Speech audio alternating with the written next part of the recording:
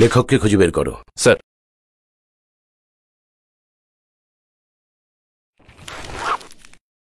লেখককে খুঁজে বের করো। স্যার। এনি হাউ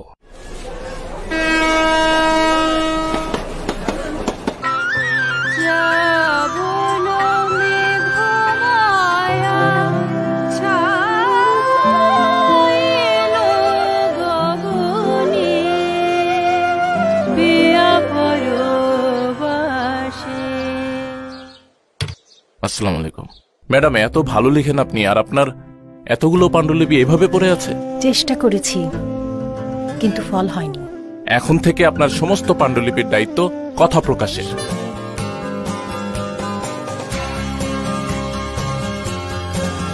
পরিবারের সবার জন্য সব ধরনের বই কথা প্রকাশ সৃজনের আনন্দে উৎসব চলে।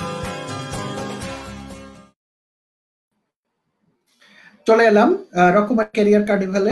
আমি জাভেদ পারভেজ আপনাদের আজকে রাতের হোস্ট আজ রকমারি ক্যারিয়ার কার্নিভালের আমাদের আজকের আলোচনার শেষ দিন।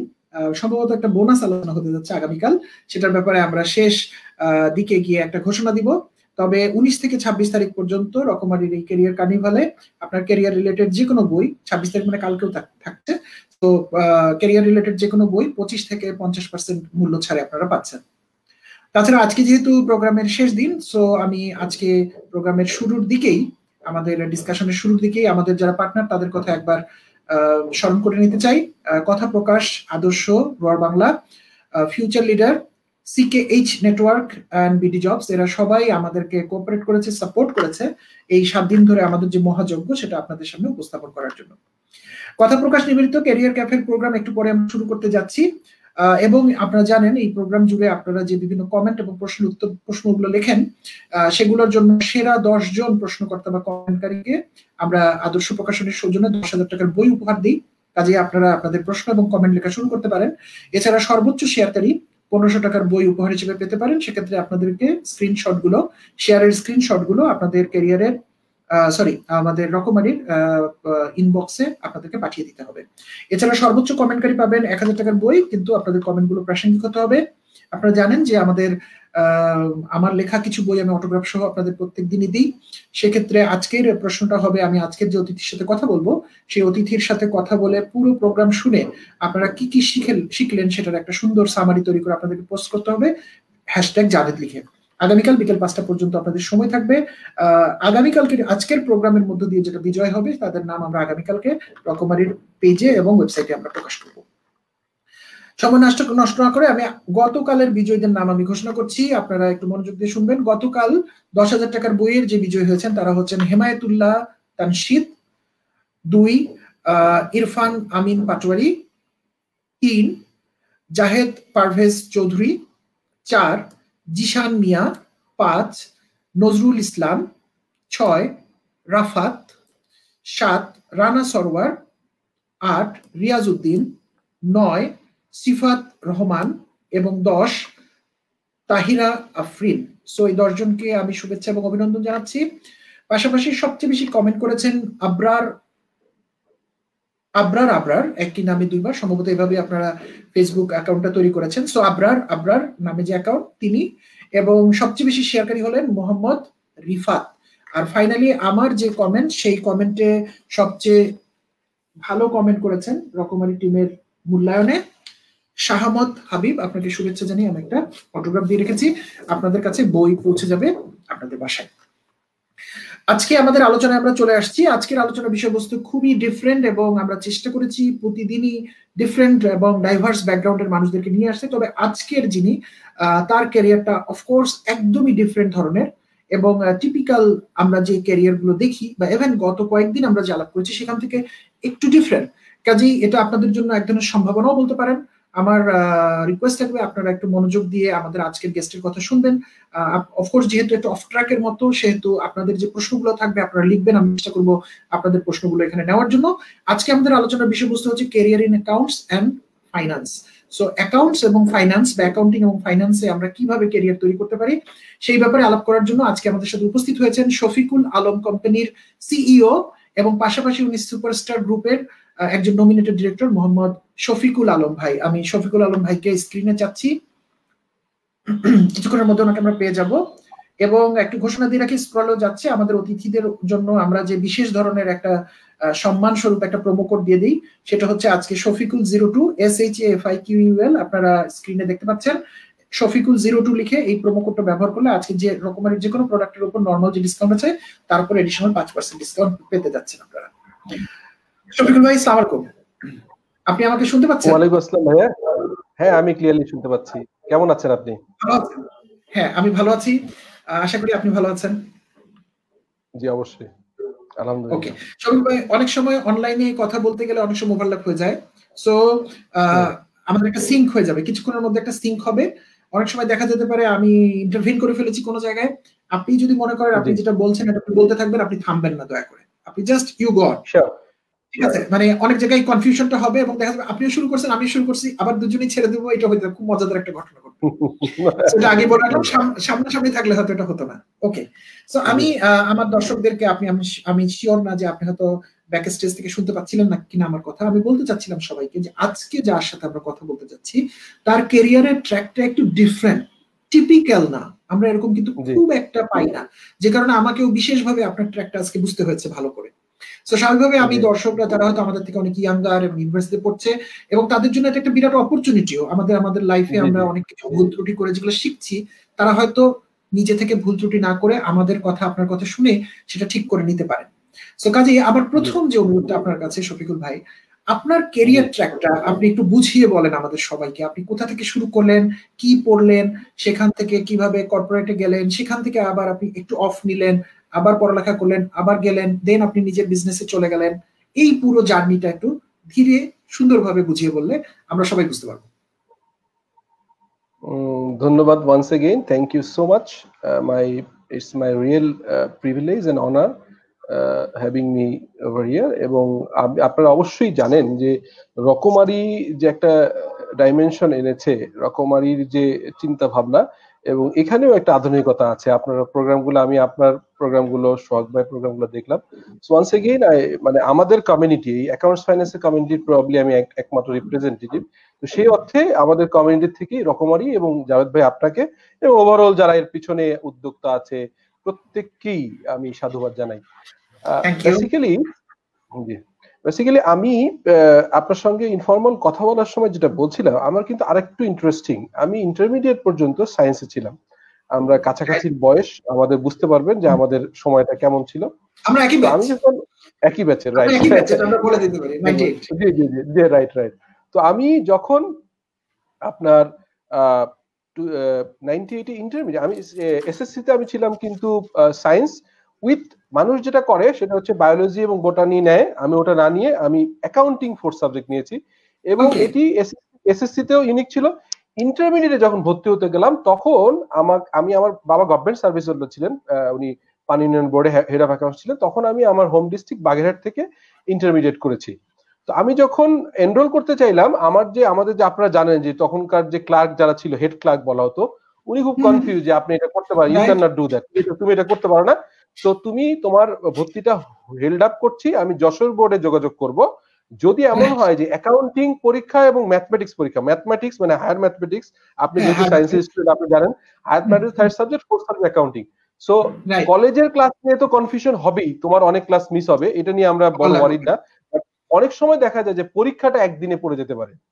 তো এটা হলে তোমাকে নেওয়া যাবে না। পরে যাই হোক এটা উনি খবর নিয়ে জানালো যে আসলে পরীক্ষাটা একসাথে নাও পড়তে পারে না পাওয়ার সম্ভাবনা বেশি। অতএব আমি অনেক এই ধরনের নিয়ে কথা বলেছি এবং খুব স্ট্রাক মানে আমি রীতিমতো যুদ্ধ করেছি যে আমাকে দিবেন না কেন এটা অপশন তো আছে। সো এরকম তো নাই ইউনিক হতে পারে না। সো যাই হোক এরপরে আমি আমার তখনকার দুটো টার্গেট ছিল। আমার ফার্স্ট টার্গেট ছিল যে আমি যদি জিডি পাইলট অথবা যদি যেটাকে বলা হচ্ছে ডিফেন্সের যে কোনো একটাতে নেভি অথবা নেভিতে আসলে ট্রাই করিনি আপনার সেনাবাহিনী এবং হচ্ছে বিমান বাহিনী। এই দু জায়গাতে এয়ারফোর্সে এই জায়গাতে একটা সার্টেন লেভেল পর্যন্ত যে একটু মানে শারীরিক একটু টেস্টের একটা সমস্যার কারণে আমি যখন যেতে পারি না আমার সেকেন্ড অপশন রেডি করা ছিল যে আমি চার্টার অ্যাকাউন্টেন্সি পড়ব এই প্রফেশনে যেহেতু আমি বুঝতেই পেরেছেন যে সায়েন্স রেখেছি সঙ্গে সঙ্গে এবং আপনি খুব ভালো করেই জানেন যে যারা ইন্টারমিডিয়েট পর্যন্ত বেসিক সায়েন্স পড়ে তাদের কিন্তু অনেক ওয়াইড হয়। আমাদের অ্যাকাউন্টিং প্রফেশন আমাকে অনেকেই বলে যে আপনি সিএমএ মাত্র দুই বছর আসলে অফিসিয়ালি আড়াই বছর হলো দুই বছর লেগেছে। যেখানে অ্যাভারেজে ছয় সাত বছর এখনও লাগে। হ্যাঁ তো আপনি দুই বছরে কীভাবে করলেন? অথবা আঠারো মাসে সিএ কীভাবে করলেন? আমি সবাইকে খুব বিনয়ের সাথে একটা কথা বলি এটা আমার কোনো যোগ্যতা না। আমি যেহেতু সায়েন্সে পড়তাম সায়েন্সে আমাকে অনেক ওয়াইড চিন্তা করার চিন্তা দিয়েছে। অনেক ডিফারেন্ট আসপেক্টে এবং আমার কাছে অ্যাকাউন্টিং ইন্টারেস্টিং মনে হয় এবং এর সাথে আমি কিন্তু মিক্স করতে পারি। ডিফারেন্ট একটা প্রপোজিশন হয় ডিফারেন্ট একটা মিক্স আপ হয়, যেটা একজন পিওর ধরেন কমার্স পড়ে আসছে, তার যে চিন্তা চেতনার, তার যে ব্যাপারটা আমারটা ডিফারেন্ট হয়। এনিওয়ে তো আমি তারপরে গ্রাজুয়েশন করেই ঠিক টু থাউজেন্ড টু টুতে এসে সিএমএ তে ভর্তি হলাম শেষে। এবং আমি খুব অল্প সময়ে ইনফ্যাক্ট টু থাউজেন্ড থ্রিতে আমাদের সেশনটা ছিল তো আমি গ্রাজুয়েশন করার পর মাস্টার্স পরে করেছি আমার একাধিক সাবজেক্টে মাস্টার আমি ল ব্যাকগ্রাউন্ডে আপনাকে এটা যেটা বলা হয়নি এলএলবিও করেছি। এর বাইরে তো অবভিয়াসলি ইন্টারন্যাশনাল বিজনেসের ঢাকা ইউনিভার্সিটির ফার্স্ট ব্যাচ থেকে যেটা masters in international trade and business ওটাতে এবং অ্যাকাউন্টিং এ তো মাস্টার্স করেছি এমবিএ এর সঙ্গে আমার যেটা হচ্ছে যে পলিটিক্যাল সায়েন্সে মাস্টার্স করেছি যেটা আরও ডিফারেন্ট তার মানে আপনি, আমি হচ্ছে যে সায়েন্স ব্যাকগ্রাউন্ড এরপরে পলিটিক্যাল সায়েন্সে মাস্টার্স করেছি ফ্রম আর্টস ব্যাকগ্রাউন্ড এবং ইন্টারন্যাশনাল বিজনেস অ্যাকাউন্টিং তো আমার অনেকেই পাগলামি বলে বাট আমি আমি পার্সোনালি ফিল করি যে ডাইভার্স লেখাপড়া ডিফারেন্ট ইন্টারেস্ট এবং আমি আপনাকে অ্যাসিওর করতে চাই, এর কোনোটাই কিন্তু আমার সার্টিফিকেট নেওয়ার উদ্দেশ্য ছিল না। সার্টিফিকেট নিয়েছি অন্য কারণে, কারণ না হলে পড়া হয় না বা কেউ এটাকে অ্যাকসেপ্ট করে না। আপনি যদি এখন অ্যাকাউন্টিং পড়েন, আপনি আমি আপনার ক্যারিয়ার সম্পর্কে দেখছি অ্যাকাউন্টিং কাজ করেছেন। বা রেদার আপনি যে বুয়েটের স্টুডেন্ট তার মানে আপনি যে কোনো জায়গায় ভালো করবেন, আমি অ্যাসিওর আমি শিওর যেটা হবে। বাট আপনি যদি মনে করেন কোর ফাইন্যান্সে ইউ লাইক মাহাতাব ভাই, আপনি সিএফও থেকে সিও আপনি, আপনার ট্র্যাকেও আপনি সিও হবেন বাট অ্যাকাউন্টিং ট্র্যাকে গেলে আপনাকে কিন্তু হেল্প করতে একটা প্রফেশনাল ডিগ্রি এখন কোশ্চেন হচ্ছে অ্যাকাউন্টিং হয়তো আপনি খুব ভালো বুঝেন, যেহেতু কাজ করেছেন। বাট মানে পারসেপশন মানে মানুষের কাজ করে যে তার অ্যাকাউন্টেন্ট না মনে করবে যে না ও বা অ্যাকাউন্টিং ব্যাকগ্রাউন্ডে তো সে না। যেমন আমরা অনার্স মানে BBA MBA plus CA CMA charter secretary করেছি এলএলবি করেছি। যাই হোক তো পরে আমি খুবই ইচ্ছা ছিল যে চার্টার অ্যাকাউন্টেন্সি করব শুরুতে। বাট যেটা হয়, একদম middle class family my father was a first class non gazetted government officer এবং খুব অনেস্ট মানুষ ছিলেন। তো আমাকে যেটা করতে হয়েছে সিএ তে গেলে তো আসলে ওই ওই সময় ষোলোশো পঞ্চাশ টাকার অ্যালাউন্স আমার চলে না। So I have started CMA এবং সঙ্গে সঙ্গে পার্ট টাইম করা শুরু করলাম বিভিন্ন এনজিওতে পরবর্তীকালে আমি সিএমএ কোয়ালিফাই করার ঠিক আগে আগে আমি স্যানোফি অ্যাভেন্টিজে আবার নতুন করে রিএনভেন্ট করলাম। তো ওখানে আমার মনে হলো, তখন আমার যে চ্যালেঞ্জটা হয়েছে যে আমি ফিক্সড অ্যাসেসে কাজ করতাম, তো আমার কাছে মনে হচ্ছে যে আইটির সঙ্গে কিছু কাজ ছিল। তো এই বিভিন্ন ফ্যাক্টরিতে সানাফির ফ্যাক্টরিতে টঙ্গিতে বিভিন্ন জায়গায় যে যে অনেক সিনিয়র বসদের রুমে যে তার আইটি একটা প্রথম অ্যাসাইনমেন্ট দেওয়া হলো যে ফিক্সড অ্যাসেটটা ফুল অ্যাট পারে আনা। অনেক এলোমেলো আছে রেকর্ড ঠিক নেই। তো আমাকে বলা হলো সমস্ত ফিক্সড অ্যাসেট ট্যাগিং করে অ্যাসেট করতে হবে। তো দেখা গেল একজন সিনিয়র ডিরেক্টর রুমে যাচ্ছি ওনার ল্যাপটপে শুধু একটা স্টিকার করব।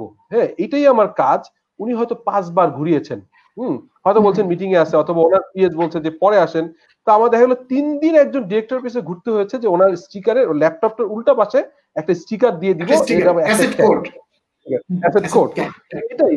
তখন আমার মনে হলো যে আসলে তো আমি সিএমএ করেছি একটা প্রফেশনাল ব্যাকগ্রাউন্ডে এত লেখাপড়া করলাম খারাপ স্টুডেন্ট ছিলাম না অ্যাটলিস্ট আমার এলাকায় আমি সবচেয়ে ডিস্টিংশন পাওয়া ওই সময় হ্যাঁ এসএসসি তে এবং ইয়েতে। তো আমার কাছে মনে হলো যে বয়সটাও কম। মাত্র তখন বুঝতেই পারছেন আপনি তো একই বেজের তখন আমাদের তেইশ বছর বয়স, চব্বিশ, পঁচিশ, চব্বিশ বছর অফিসিয়ালি তেইশ চব্বিশ বছর অ্যাকচুয়ালি বয়স।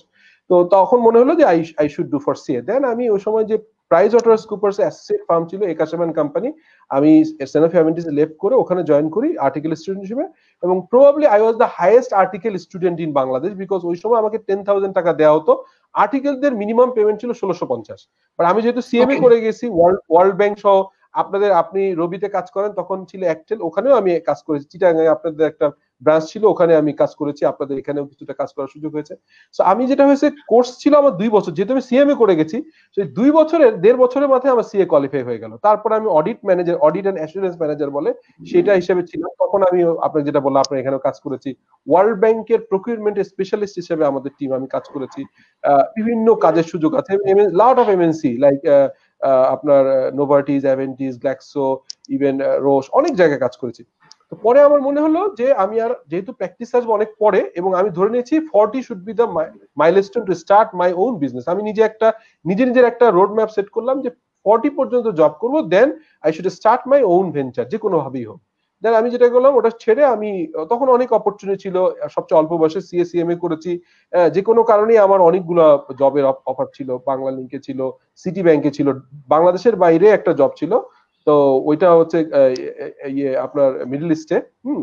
তো যে কারোর কারণেই তখন জাস্ট বিয়ে করেছি, বিভিন্ন কারণে যাওয়া হয়নি, তো I join Shanta as GM GM finance পরবর্তীকালে আমার জিএম করা হলো। So I was the youngest general manager in Shanta holding যেটা খুব ব্র্যান্ডেড কোম্পানি এবং হেড অফ। ফাইন্যান্স ওখানে দুই বছর কাজ করলাম। মানে আমি এখানে একটা ইন্টারেস্টিং প্রপোজিশন আপনাকে বলি, সেটি হচ্ছে আমি যখন শান্তায় জয়েন করি, তখন আমার আঠাইশ অ্যাপ্রক্সিমেটলি সাতাইশ প্লাস বয়স। আর আমাকে যিনি রিপোর্ট করতো ডাইরেক্ট ডেপুটি ম্যানেজার ছিল উনি শান্তাতেই কাজ করছেন বাইশ বছর।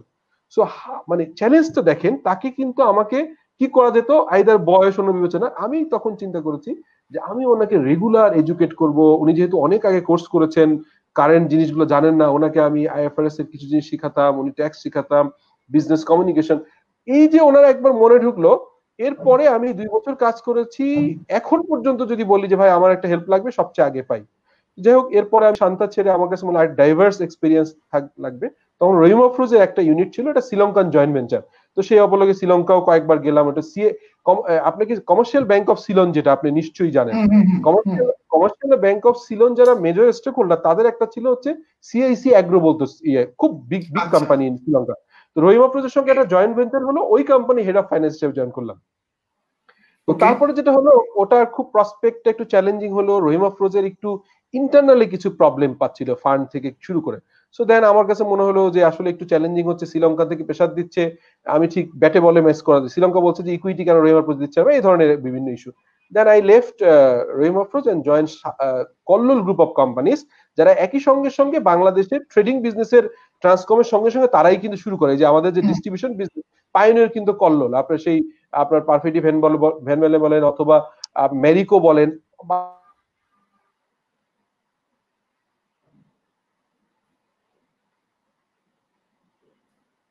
আমি শিওর না আপনারা শফিকুল ভাইকে শুনতে পাচ্ছেন কিনা। আমার এখানে একটু নেটওয়ার্কের প্রবলেম পাচ্ছি আমি। আমার মনে হয় শফিকুল ভাই এখান থেকে বের হয়ে গেছেন। আমরা খুব ভালো একটা ডিসকাশনের মধ্যে ছিলাম। ব্যাক স্টেজ থেকে আমাকে যদি একটু কনফার্ম করা যায়, আমি কি লাইভে আছি এখন পর্যন্ত? আমাকে কি কন্টিনিউয়াসলি পাওয়া যাচ্ছে? সেক্ষেত্রে আমাকে যদি একটু কিছু কমেন্ট বা প্রশ্নগুলো যদি একটু দেওয়া যায়, তাহলে আমরা আমি সেগুলো একটু রিড আউট করতে পারি। ইন দ্য মিন আমরা শফিকুল ভাইয়ের কাছে শুনছিলাম। খুবই ডাইভার্স একটা ক্যারিয়ার এবং আমি আসলে অন্য যে ছয়জনের সাথে কথা বলেছি শুরুর পার্টটাতে আসলে এত সময় আমি কাউকে দিইনি।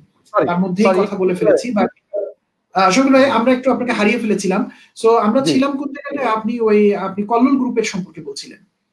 ওইখান থেকে যদি- তো কল্লোল গ্রুপে চার বছর জি। প্লিজ কন্টিনিউ তো আমি আমি পরে রাউটারটা কাছে। তো চার চার বছর আমি কল্লোলে কাজ করেছি, এই সময় দুটো জয়েন্ট ভেঞ্চার স্পেশালি আমার লার্নিংটা এখানে হয়েছে। ইয়াং যারা আমাদের শুনছেন, আমি দেখি কমেন্টগুলো দেখলাম অ্যাকাউন্টস ফাইন্যান্স অনেকেই আছেন। সো আমার কাছে এটা লার্নিং অপরচুনিটি মনে হচ্ছে young thirty years a thirty years এজে আমি গ্রুপ সিএফও হয়ে গেলাম। তো এটা অনেকে কিন্তু অন্যভাবে নেয়। তারা লার্নিং ক্ষুদাটা বন্ধ হয়ে যায়, জানার ক্ষুদা বন্ধ হয়। বাট আমার কাছে মনে আছে যে আমি কল্লোলে এমডি সাহেবের সাথে রাত দশটা পর্যন্ত কাজ করেছি। আমার মনে হয় যে করি নাই কবে কবে এটা গুনতে পারব। কারণ লোকাল কোম্পানি আপনাদের এমএনসি স্টাইল আমি এমএনসি তেও কাজ করে আসছি। ওখানে তো আসলে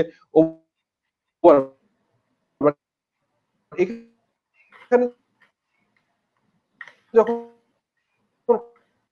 কাজ ছিল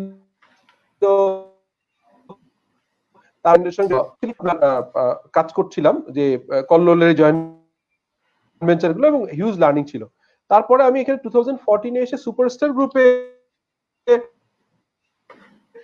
as a five group is very একটা অর্গানাইজেশন অ্যাজ ওয়েল অ্যাজ খুবই এমপ্লয়ি ফ্রেন্ডলি একটা অর্গানাইজেশন সঙ্গে সঙ্গে সুপারস্টার গ্রুপে হচ্ছে হাংরি একটা কোম্পানি এটা this is the company first time এখন আমরা লাইটিং এ লিডিক করছি। আপনি এলইডি লাইট বলেন বা যে কোনো লাইটিং এ বলেন এবং ট্রান্সকম সরি আপনার ফিলিপসের মতো মাল্টিনেশনাল কোম্পানিকে ফার্স্ট টাইম বাংলাদেশের মার্কেট শেয়ারে কিন্তু নাম্বার ওয়ান চলে যায়।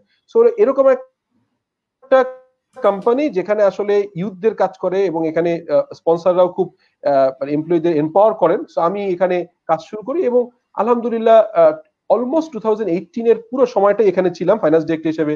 বাই দিস টাইম আমি এসিপি ইমপ্লিমেন্ট করেছি এখানে। এটা লোকাল কোম্পানির জন্য অনেক চ্যালেঞ্জিং ছিল টেক টেকনোলজির পয়েন্ট অফ ভিউতে আমার কন্ট্রিবিউশন অনুযায়ী যখন আমি ফার্ম করার জন্য মানে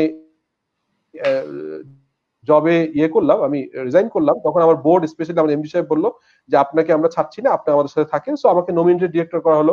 আমাদের একটা এসবিউ করেছি বিস সলিউশন নামে একটা আইটি ফার্ম ওখানে সার্টেন একটা স্টেক দিয়ে আমাকে বোর্ডে রাখা হলো এবং আমি আমার ফার্ম শুরু করলাম। সো এই আর গত দুই বছর ধরে ডুয়েল রোল প্লে করছি। অনেকগুলো বড় গ্রুপে কনসালটেন্সি করছি, যেমন আকিস গ্রুপে পার্ট টাইম একটু কনসালটেন্সি করি। সুপারস্টার গ্রুপে তো আছি, যেহেতু ওখানে বোর্ডে আছি কনসালটেন্সি করতে হয় ফাইন্যান্স অ্যাডভাইজার হিসেবে এবং ইয়ে। আর নিজের ফার্ম তো আছে আইটি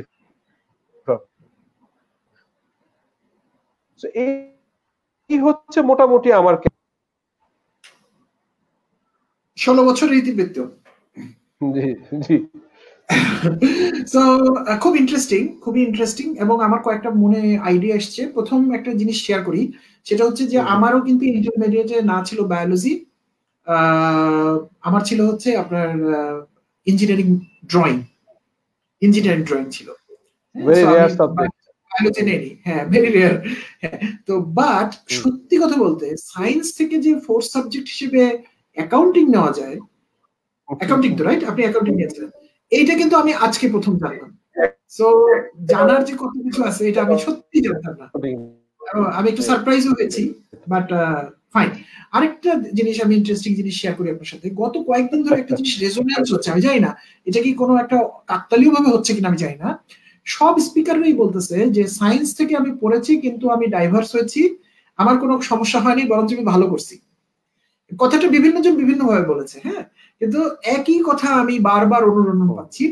সো প্রবাবলি আমাদের শ্রোতা দর্শকদের জন্য এখানে একটা বড় লার্নিং হয়তো বা আছে। সেটা হচ্ছে যারা হয়তো সায়েন্সে পড়ছেন সায়েন্সের ব্যাকগ্রাউন্ডে পড়ছেন এবং সবগুলো আপনি জানেন যে আমাদের বিশ্ববিদ্যালয় পর্যায়ের পড়াটা কিন্তু আমরা নিজের ইচ্ছা মতো সাবজেক্ট অনেক সময় পাই না। অনেক সময় আমাদের পাওয়া হয় না। পাই না হ্যাঁ, আমরা যেন সাবজেক্টের উপরে অবসেসড হয়ে না যাই রাদার কোন কোথায় কোন অপরচুনিটি আছে এবং কোন জায়গাটা আমাকে টানে সেইটার দিকে যাতে আমরা বেশি খেয়াল করি। আমরা যদি একটা জিনিসের উপর বকডাউন হয়ে যাই তাহলে আমাদের অপরচুনিটিটা ছোট হয়ে যাবে। সেটা আমার মনে হয় এই জিনিসটা রেজোনেট হয়েছে। আর একটা জিনিস আমি একটু জানতে চাই শফিক ভাই জেনারেলি ফাইন্যান্স এবং অ্যাকাউন্টিং নিয়ে যারা পড়ে বা কাজ করে হ্যাঁ তাদেরকে একটু কাঠখোট্টা হয় বলে মনে হয়। হ্যাঁ খুব একটা বেশি কথাবার্তা বলে না মানুষের সাথে চুপচাপ নিজের মতো করে কাজ করে ভুল বের করে দেয় দ্রুত। আহ, এবং এদের কাছে মানুষজন ঘেসতেও চায় না আমার মনে হয়। আমি শিওর না কিন্তু। বেনিফিট অফ ডাউট দিন আমাকে। সো বাট আপনার সাথে কথা বলেছি আজকে, আরেকবার কথা বলেছি। আমার কাছে মনে হচ্ছে আপনি খুবই একটা হাস্যোজ্জ্বল লোক, খুব ইজি গোয়িং এক্সট্রোভার্ট অনেক অ্যালাউ করেন মানুষকে। তো আপনি কি ডিফারেন্ট না আমাদের ধারণা ভুল? অ্যাবাউট ফাইন্যান্স অ্যান্ড অ্যাকাউন্টিং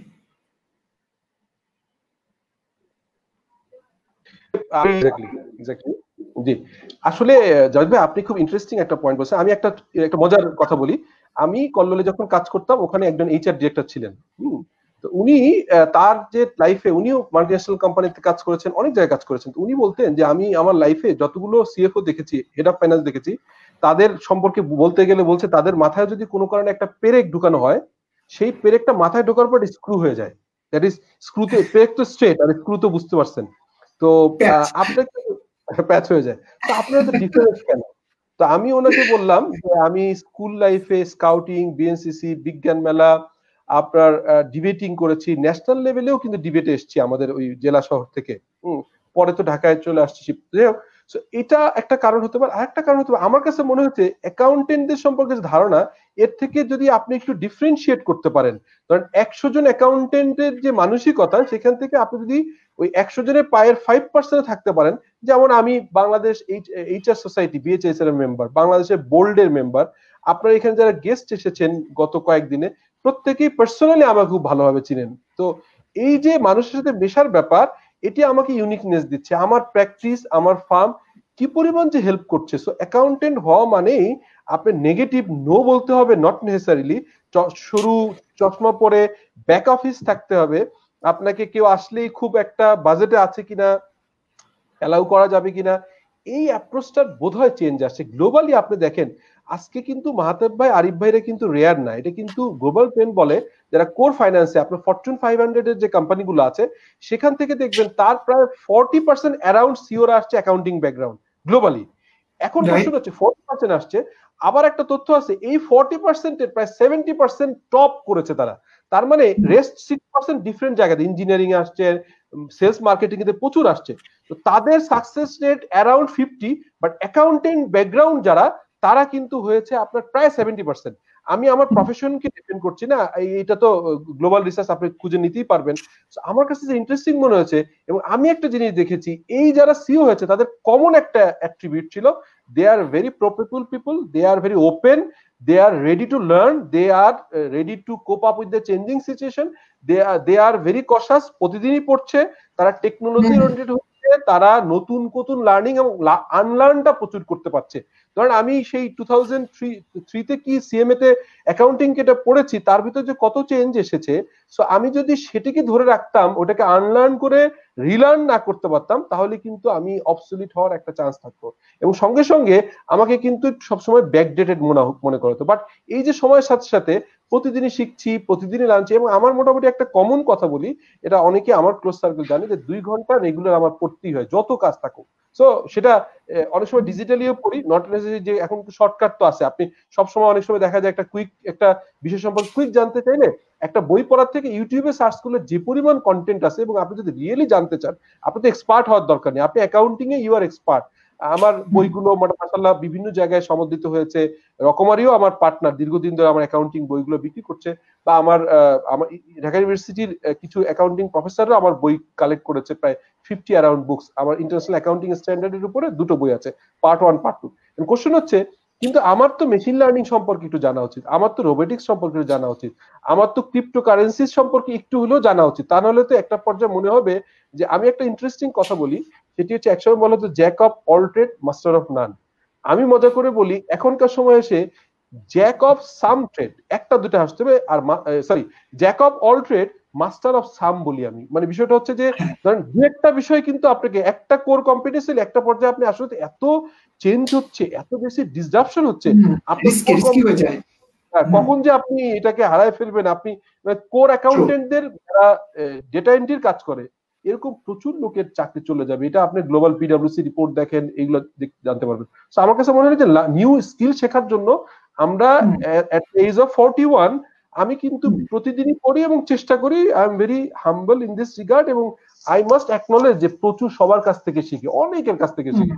আপনি আপনার যে গত কয়েকদিনে যারা এখানে গেস্ট আসছেন আপনার প্রোগ্রামে আমি একটু সময় করে দেখলাম এবং এত জানতে পারলাম এখান থেকে। I I must be very thankful to once again you and your এই এফোর্ট জাভেদ ভাই।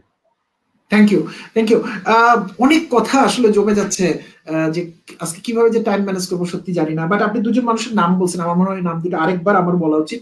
একটা হচ্ছে আমাদের মাহতাবুদ্দিন আহমেদ ভাই আমাদের রবির সিইও আর আপনি আরিফ ভাই কথা বলেছেন। আরিফ ভাই ফুল নামটা আমি অবশ্য বলতে পারছি না আরিফ ভাই বললেই চেনা যায়।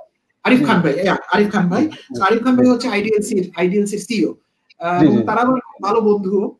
সো আমি দুজনকে খুব কাছ থেকে দেখার সুযোগ হয়েছে। আমার মাধ্যমের সাথে আমরা রেগুলার কাজ করি। মানে আপনি যে যে অ্যাট্রিবিউটগুলো বললেন যে তারা কন্টিনিউয়াসলি লার্ন করছে এবং সেই লার্নিংটা কিন্তু শুধু সিইও শিপের উপর বা ফাইন্যান্স বা অ্যাকাউন্টিং এর উপর ডাইভার্স এবং উনি আমাদেরকে মাঝে মাঝে কিছু ডকুমেন্ট পাঠায় পড়ার জন্য। আমরা অবাক হই যে উনি কোথা থেকে এই জিনিসটা পেলেন। এবং ওনার যে ডিফারেন্ট ভিউ পয়েন্টটা সিইও হিসেবে সেটা শুধু সিইও শিপ না কিন্তু আমরা অনেক এই যে ফোর্থ ইন্ডাস্ট্রিয়াল রেভলিউশনের কিছু বিষয়বস্তু বললেন আপনি মেশিন লার্নিং এগুলো উনি আমাদেরকে পুশ করতেছে যে তোমরা এগুলো শিখতেছো না কেন? সো ইন্টারেস্টিং আচ্ছা আমি আপনার সম্পর্কে আরেকটা মজার বিষয় আসতে চাই সেটা হচ্ছে আপনি আপনার একটা ফার্ম বা কোম্পানি আছে সেটা আইটি রিলেটেড কাজ করেন আপনি। জি জি জি জি। যদিও আমরা এটা হয়তো এখানে বলিনি আবার আপনার ওই সুপারস্টারের সাথে যেটা আপনার কাজ হচ্ছে সেটাও কিন্তু আপনার আইটি রিলেটেড আপনি মেনশন। করেছেন। আমার ছোট্ট একটা প্রশ্ন আপনি অ্যাকাউন্টিং ফাইন্যান্স লাইনে পড়ালেখা করলেন আইসিএমএ এসিসিএ এই সব আপনি করে গেলেন। এই আবার আইটির প্রতি আপনার আগ্রহ কেন তৈরি হলো? এটা তো মেলার কথা না মিলছে না অঙ্কটা। জাভেদ ভাই thank you for the question সেটি হচ্ছে দেখেন ওই যে বললাম না যে আপনি সিম্পল একটা জিনিস দেখেন যে যখন মেশিন লার্নিং আসছে যখন আপনি দেখেন অ্যাকাউন্টিং প্রফেশন কিন্তু আপনার দুই লেভেল হয়। এন্ট্রি লেভেল যারা অ্যাকাউন্টিং ডেটা এন্ট্রি করে আপনি যেহেতু খুব ভালো করেই জানেন বেশ কিছুদিন কাজ করেছেন তারপরে হচ্ছে লেজার পোস্টিং ফাইন্যান্সিয়াল স্টেটমেন্ট তৈরি করা। সো যে ডেটা এন্ট্রি করছে এই রিপিট জবগুলো কিন্তু খুব থ্রেটে থাকবে। যারা রিপিট একই নেচারে বারবার করছে রকমের job। আর যারা ইন্টারপ্রেটার যারা অ্যানালাইসিস করছে যারা ব্যালেন্স শিট অ্যানালাইসিস করে আউটকাম ম্যানেজমেন্টের সামনে প্রেজেন্টেশন দিচ্ছেন তো তাদের জবটা থাকবে। তো আমার কাছে অলওয়েজ মনে হচ্ছে যে ডিজিটালাইজেশনের সময় আজকে যে এসিপি ইমপ্লিমেন্ট করলাম একটা লোকাল কোম্পানিতে আমরা সম্ভবত forty one company in Bangladesh এই টু থাউজেন্ড ফিফটিনে কাজটা আমরা সিক্সটিন আমরা করেছি। এই চার বছরে বাংলাদেশে একশোটা কোম্পানি চলে আসে যারা এসিপি করছে। এখন এখানে যদি আপনি নিজেকে কনসালটেন্ট হিসাবে নিজেকে যদি আপডেটে রাখতে চান আপনাকে কিন্তু জানতে হবে। আর যেহেতু অ্যাকাউন্টিং প্রফেশনের খুব বেশি লোক এই জায়গাটাতে আসে নাই যারা কোর অ্যাকাউন্টিং কোর কম্পিটেন্সি আছে they are very technically sound on their particular job but এর সঙ্গে সঙ্গে আইটি একটু জানে। যেমন আপনি জানেন আইটি অডিট হচ্ছে বিভিন্ন জায়গায় ইনফরমেশন সিস্টেম অডিট আপনি অ্যাকাউন্টেন্ট হয়ে এখন কিন্তু আর ওই সুযোগ নেই যে স্পেশালি এই যে কোভিড এর পরে যে গ্লোবাল চেঞ্জ আসছে সেই চেঞ্জে দেখবেন যে ফিজিক্যাল আজকে যেমন যতগুলো অনলাইন প্ল্যাটফর্ম আপনার ই ই মার্কেটিং বা ইয়ে, আমি আমি আপনার প্রোগ্রাম বা সোহাগ ভাইয়ের উপস্থাপনায় আমি দেখলাম বিডি জবসের ইয়ে ভাই আসছিলেন আমাদের ফাহিম ভাই আসছিলেন। আমিও মানে বেসিসের মেম্বার আমাদের উনি প্রেসিডেন্ট প্লাস আমি একসময় রেগুলার ফ্যাকাল্টি ছিলাম BD জবসে in two thousand ten to fourteen regular ছিলাম। আমি finance for non finance session নিতাম। অনেক কোম্পানি সিরাও গিয়েছেন যে বেসিক অ্যাকাউন্টিং দেখার জন্য। সো ওইটা ওই পিরিয়ডটা আমার খুব ভালো পিরিয়ড ছিল ওখানে নিতাম। তো আমি যেটা বলতেছিলাম দেখেন যে এখন যদি আমি অ্যাকাউন্টেন্ট বাট আমি একটু টেকসেবি হলাম, আমি একটু আইটি একটু অন্যদের থেকে বেটার জানার চেষ্টা করলাম, জানার চেষ্টা করলাম অ্যাটলিস্ট আমাকে তো কোর কম্পিটেন্ট হিসেবে এখন আর সুযোগ নেই এজে এসে। বাট আমি একটু আমার কাজের জন্য জানার চেষ্টা করলাম। তো সেই থেকেই শুরু এবং পরবর্তীকালে দেখলাম একটু এফোর্ট দিলে অনেকে মনে করা ছিল he is very tech savvy person ACB ভালো বোঝে।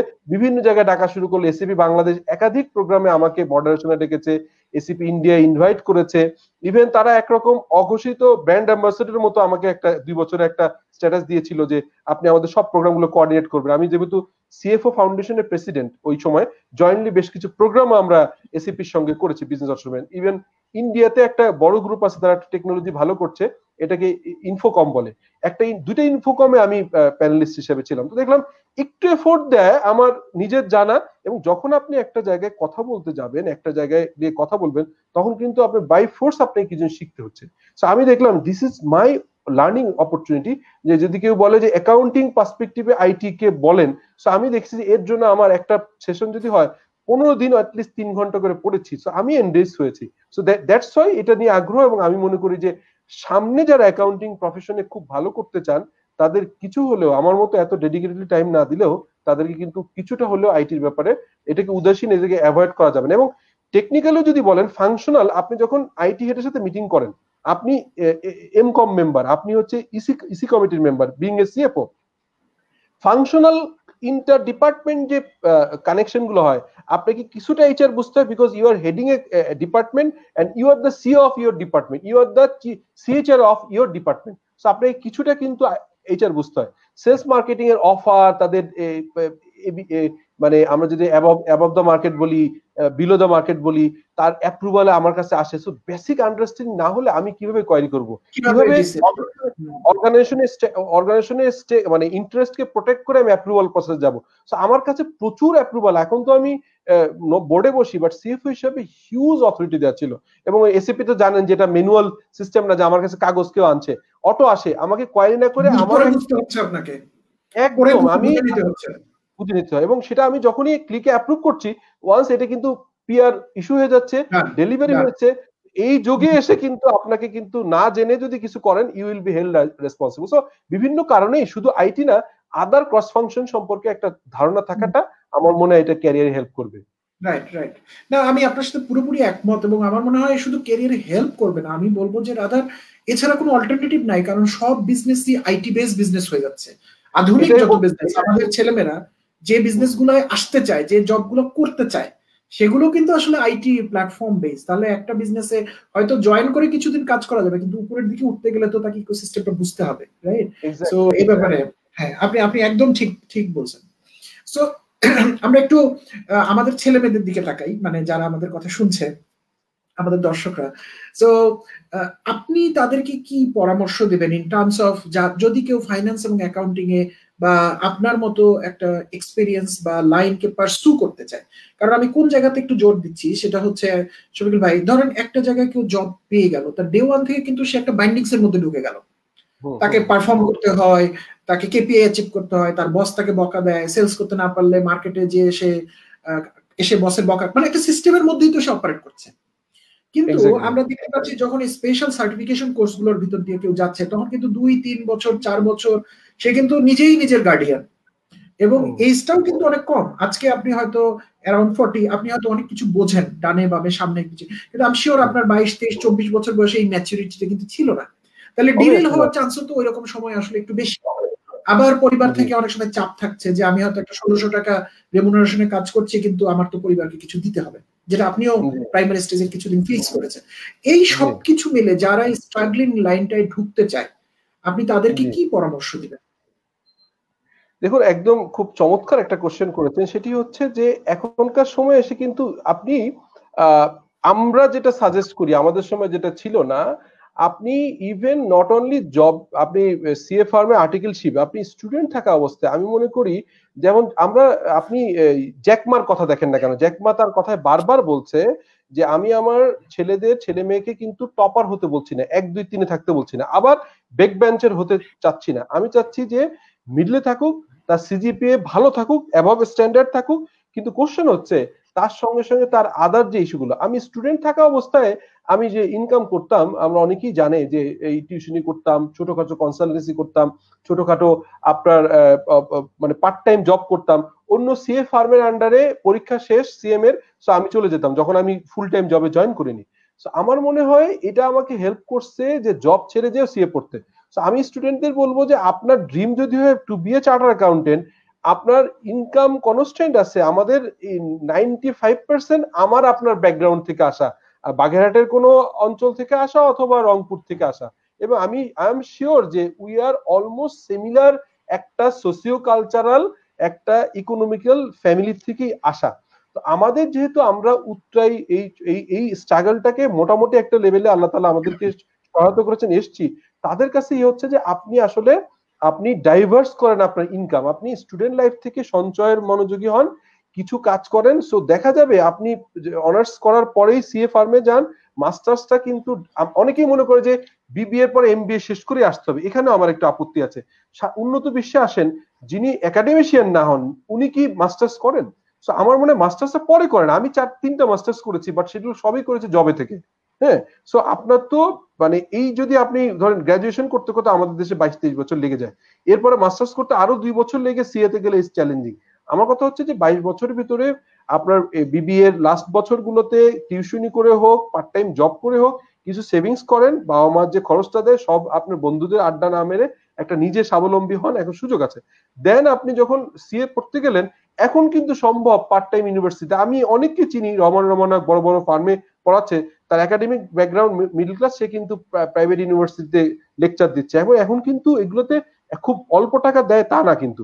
So if you are really desire that you you you will be qualify as a charter accountant so financial constraint আপনাকে কোনোভাবেই আটকায় রাখতে পারবে না, আপনাকে বাধা দিবে না I am almost sure so আমি মনে করি যে ডিজায়ার যদি হয় যে আপনি করবেন, তাহলে এটা আপনি নিজের প্ল্যান করতে হবে এবং অনেক, যত, যে যত ফ্রি থাকে, যার প্রচুর অ্যাবান্ডেন আছে আপনি দেখেন আজকে আমাদের পনেরোশো চার্টার অ্যাকাউন্টেন্ট যদি ধরেন, পনেরোশো সিএম এ ধরেন, আপনি ব্যাকগ্রাউন্ড চেঞ্জ চেক করেন, ঢাকাতে যারা ইংলিশ মিডিয়াম স্কুলে পড়েছে ইংলিশ মিডিয়াম ইয়ে পড়েছে, তারা দেশের বাইরে চলে গেছে। আমাদের মতো টিপিক্যাল ফ্যামিলি থেকে মোর দ্যান নাইনটি পার্সেন্ট যারা আসে, আছে চার্টার অ্যাকাউন্টেন্ট হচ্ছে, আপনি প্রত্যেকে, আপনি ইভেন যাদের নাম বললেন, আপনি এদের ব্যাকগ্রাউন্ডটা দেখেন সিমিলারই হবে। সো আমার মনে হয় যে এটা একটা বড় পরামর্শ যে আপনার মন যদি হয় if you love this profession এবং এটার অপরচুনিটি আমি বলি, সেটা হচ্ছে যে বাংলাদেশে আর জেসিতে দুই লাখ কোম্পানি আছে প্রাইভেট অথবা পাবলিক আর qualified charter accountant CMA ACCA CIMA সব মিলে আমার মনে হয় যে পাঁচ হাজারের বেশি নেই। সো যদি দুই লাখ কোম্পানি একজন করে প্রফেশনাল অ্যাকাউন্টেন্ট লাগে সেখানে মার্কেট দুই লাখ। সেখানে আপনি পাঁচ হাজার আছে। দেখেন কতটা একটা কিন্তু ডিমান্ড সাপ্লাই একটা গ্যাপ আছে। ইকোনমিক্সে বলে if there is a certain demand আপনার সাপ্লাই কম থাকলে তখন তো প্রাইস বাড়বে। সো কেন একজন আমি টু থাউজেন্ড এইটে শান্তাতে তখনকার সময়ে কেন দুই লাখ টাকা স্যালারি কেন একটা ফুল টাইম গাড়ি নিয়ে জয়েন করতে পারছি at the age of twenty eight এটা কিন্তু অনলি ডিউ টু যে ওই সময় কিন্তু আরও স্ক্যাটার ছিল, এখন কিন্তু চার অ্যাকাউন্ট বেড়েছে।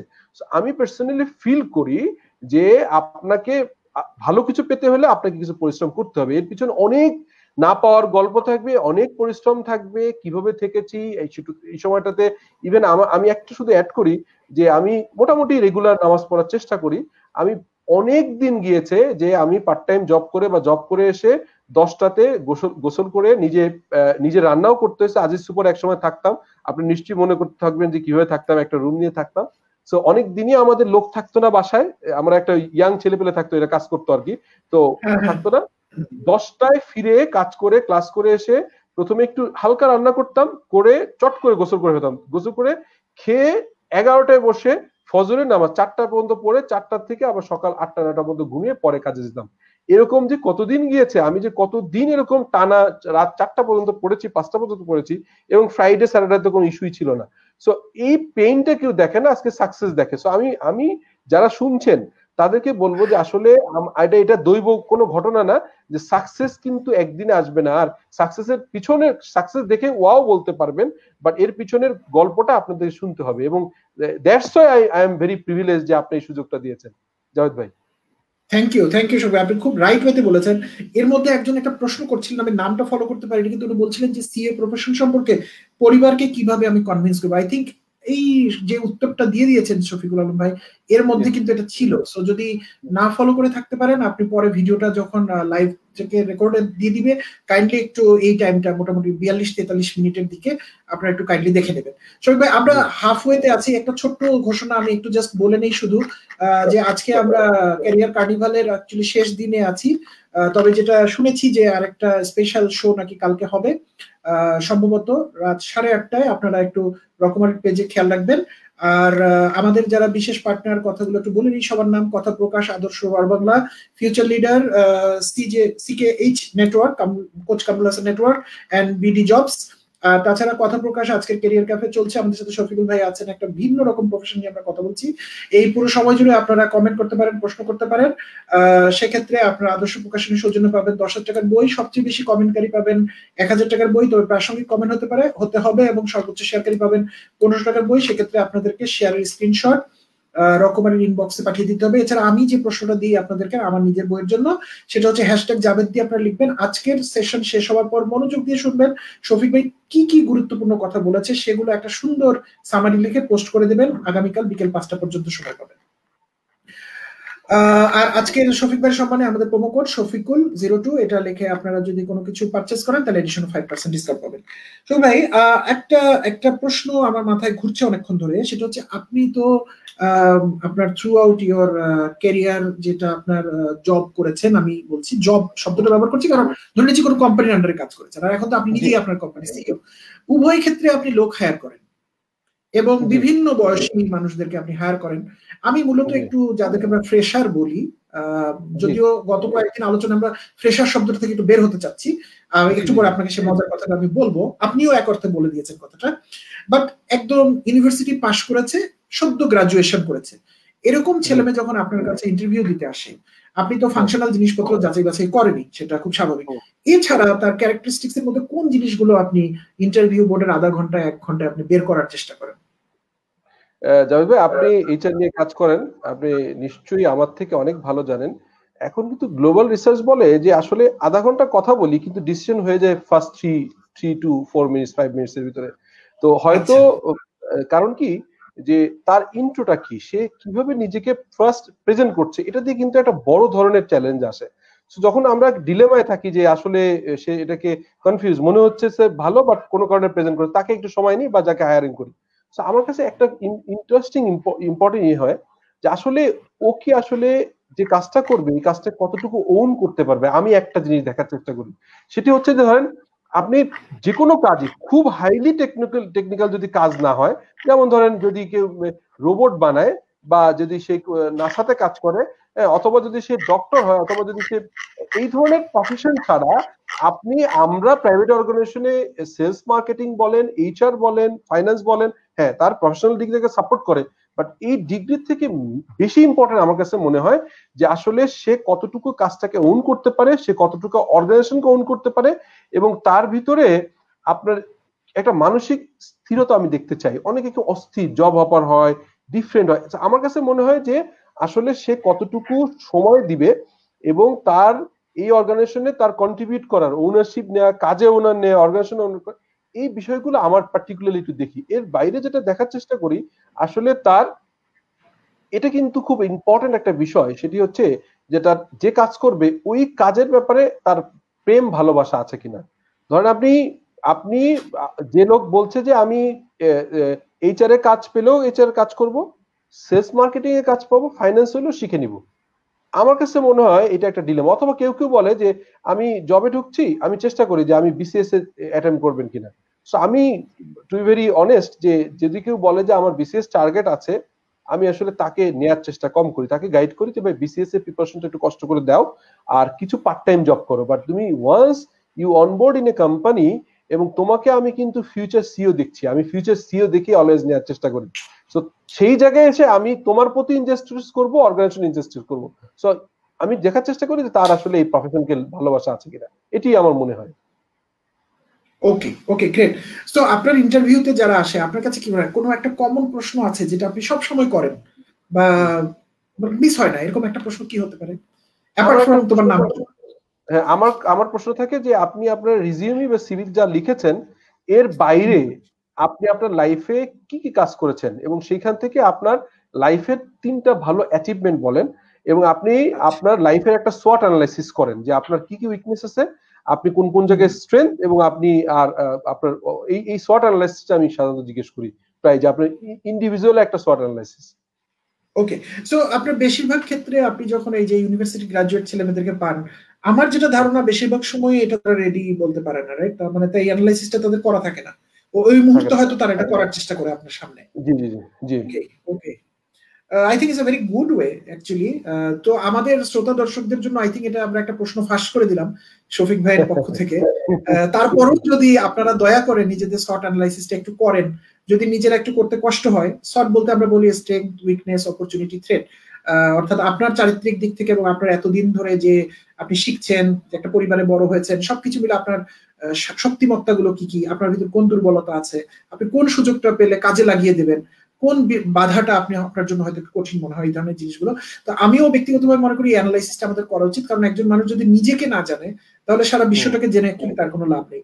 তো অ্যাটলিস্ট আজকে শফিক ভাই যেহেতু আমাদেরকে একটা ছোট্ট প্রশ্ন জানিয়ে দিলেন, আপনাদের যাদের কর্মজীবনে ভালো করার ইচ্ছা বা জীবনে ভালো করার ইচ্ছা, আমি মনে করব অন্তত একটু সময় নিয়ে, নিজে থেকে একা না পারলে একজন বড় ভাই বা বড় আপুর সাহায্য নিয়ে আপনারা একটা শর্ট অ্যানালাইসিস করতে পারেন। কারণ ইন্টারভিউ বোর্ডের সামনে বসে একটা জিনিস বলবেন আগে থেকে পরিকল্পনা করে বলা থাকবে দুটোর মধ্যে অনেক পার্থক্য খুঁজে পাওয়া যাবে। জাভেদ ভাই একটা লাইন অ্যাড করব এখানে? Please please please please please করেন। আচ্ছা আমি আমাদের প্রফেশনে আমরা যেমন ডিফারেন্ট একটু এমএনসি শুরু করে পরে অন্টারপ্রিনিয়রশিপ আসছে ডিফারেন্ট বাট আপনি যে দুজনের নাম বলছেন এর বাইরে আমার কন্টেম্পোরারি আমার থেকে হয়তো একাডেমিক তিন চার বছর বড় হবে নিজামুদ্দিন মিঠু নামে এক ভদ্রলোক আছে। বাংলাদেশে অনেকগুলো এমএনসি তে কাজ করেছে। পরে সে এরিকসনের বাইরে ছিল সুইডেনে ছিল। কয়েক বছর হলো সে আবার অ্যাপলের এশিয়া রিজনের সরি ইউরোপের সিএফ হয়েছে কয়েকটা কান্ট্রির নিজামুদ্দিন মিঠু ভাই আমরা মিঠুন ভাই নামে চিনি আমার খুব ক্লোজ আমরা এক টিমে একসময় আইসিএমএ তে কাজও করেছি। তো উনি একটা ইন্টারেস্টিং কথা বলেছে আমার আমার মনে হয় আজকে শ্রোতাদের কাজে লাগতে পারে। উনি বলতো যে আমি প্লিজ এরিকসনে লম্বা সময় আট দশ বছর কাজ করেছি আমি জানতাম আমি জব চেঞ্জ করব না। তারপরে আমি গত পাঁচ বছর সিক্সটি নাইন পেজেস আমি অ্যাপেলে বা অন্য কয়েকটা দুই তিনটা কোম্পানির নাম বলেছে সেই কোম্পানি সে ইন্টারভিউ দিবে এবং জব করবে এটা টার্গেট ছিল। সেটার জন্য নিজেকে কীভাবে প্রেজেন্ট করবে নিজেকে কীভাবে তাদেরকে সেল করবে এই জন্য সিক্সটি নাইন পেজেস প্রিপারেশন লিখে রেগুলার মক করতো অলমোস্ট ফাইভ ইয়ার্স তাহলে দেখেন এরিকসনের সিএফও আমি তো হলে ঘুমাইতাম অনেকে হলে বলতে ইস গুড সো সে নেক্সট লেভেল যাওয়ার জন্য সে জানে যে সে জব কোথাও ইন্টারভিউ দিবে না বাট ফাইভ ইয়ার্স কন্টিনিউয়াসলি তার উপরে কাজ করেছে ইন্টারভিউ কীভাবে দিবে এবং সে যেন কোথাও ইন্টারভিউ দিলে রিজেক্টেড না হয়, সে এনশিওর এবং সে কিন্তু তারপরে একটা জবের ইন্টারভিউ দিয়েছে দ্যাট ইজ অ্যাপেল ইনকর্পোরেশন এবং সেখানে সে সিএফও হিসেবে ঢুকেছে। আমার মনে হয় এটা এটা আমার কাছে খুব ভালো লেগেছিল শেয়ার করলাম। ও, না, খুবই খুবই ভালো একটা চমৎকার জিনিস আপনি বলেছেন এবং আমার অন্তত চাওয়া হচ্ছে যে আমরা গত সাত দিন ধরে আমাদের এই বিশিষ্ট গেস্টরা আমাদেরকে যে কথাগুলো বলছেন এবং আমরা কিন্তু ঘুরে ফিরে কতগুলো জিনিসই রেজোনেন্ট হচ্ছে, অনুরণন হচ্ছে। কিন্তু আমরা প্রায় এক সময় দেখি যে আমরা এটা শুনি কিন্তু আমরা এটা কাজে রূপান্তর করতে পারি না। তো আমার একটা বিশেষ অনুরোধ থাকবে যে রকমারি যে এত সুন্দর একটা আয়োজন করেছে এবং আমরা যতটুকু সম্ভব চেষ্টা করছি আপনাদের সামনে সবকিছু খুলে ধরার জন্য এটা তখনই খুব কার্যকরী হবে এবং আমরা আনন্দ পাবো যদি আমাদের যারা দর্শক শ্রোতা আমাদের ভবিষ্যৎ প্রজন্ম বলতে পারি যারা এই দেশটাকে তৈরি করবে তারা যদি এখান থেকে জিনিসগুলো শুধু শোনা না সেটা যদি কাজে লাগাতে পারে তাহলে আসলে আমাদের সব কষ্ট আহ, সার্থক হবে। সো এর পরের প্রশ্নটাতে একটু যেতে চাই সেটা হচ্ছে আপনি লেখালেখিও করেন। জি। আপনার অনেকগুলো বইয়ের কথা আপনি অলরেডি রেফার করেছেন। সো এই বই নিয়ে যদি একটু আলাপ আলোচনা করতে চাই সো একটা তো হচ্ছে প্রফেশনাল বুকস সেটা হয়তো আপনি একটু বললেন এবং আমার। বিশ্বাস এই বইগুলো হয়তো যারা এই প্রফেশনে আসতে চাইবে তাদেরও প্রয়োজন হবে। সেটা একটা দিক। আর আর এক দুই মিনিট সময় নিয়ে যে এই যে প্রফেশনাল কাঠখোট্টা বইয়ের বাইরে বইয়ের জগৎ সেই সম্পর্কে আপনার আপনি কি ধরনের বই পড়তেন বা সুযোগ পেলে এখনও পড়েন? যদি আমাদেরকে জি। একটু সংক্ষেপে শেয়ার করেন।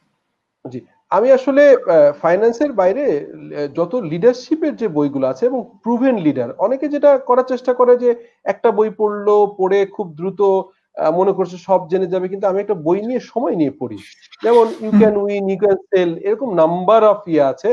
আপনি আপনার আপনার রিচ ড্যাট পুয়ার ড্যাট এরকম প্রচুর বই আমি পড়েছি বাট এটা কিন্তু সময় নিয়ে পড়েছি। এবং আপনি যদি কোনো কারণে আমি বইটার সাথে থাকতে দেখাতাম যে পাতা পাতায় লাল, সবুজ, নীল তিনটা দাগ দেয়া আছে সো আই ট্রাই টু ইয়ে মানে এখান থেকে কি আসবে ইনসাইড হ্যাঁ রবিন শর্মার কিছু বই আমরা পড়ি, মেগা লিভিং একটা বই পড়লাম। সো এরকম বইগুলো যখন পড়ার চেষ্টা করি, আমি চেষ্টা করি কি, যে এটা আসলে আরও পারসিভ করি, বোঝার চেষ্টা করি। তারপরে এটাতে কাজ করি। তো আমার লেখা, আপনি যেটা বললেন যে অ্যাকাউন্টিং এর ইন্টারন্যাশনাল অ্যাকাউন্টিং স্ট্যান্ডার্ড ওয়ান এবং ইন্টারন্যাশনাল অ্যাকাউন্টিং স্ট্যান্ডার্ড টু দুটো বই আছে, এটা খুবই ভালো করেছে, আলহামদুলিল্লাহ।